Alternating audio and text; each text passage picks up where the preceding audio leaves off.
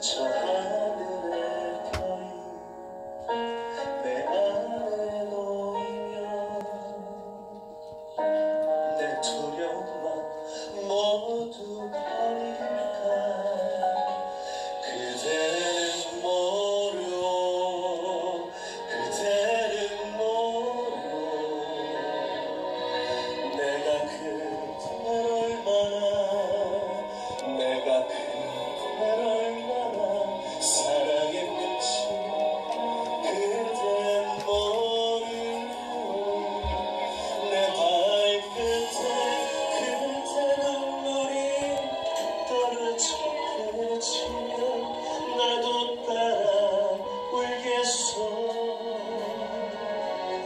이게 끝이란 걸